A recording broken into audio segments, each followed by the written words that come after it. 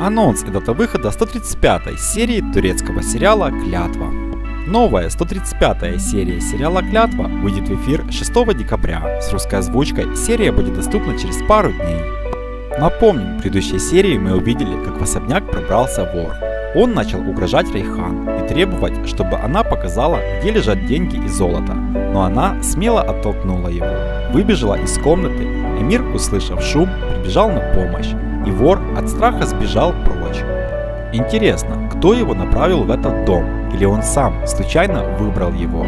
Как считаете вы, уважаемые зрители? Оставьте свой отзыв в комментариях.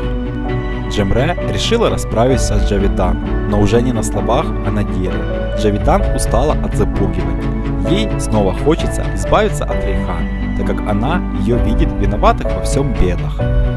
Напомню, 135 серия турецкого сериала «Клятва» выйдет в эфир 6 декабря.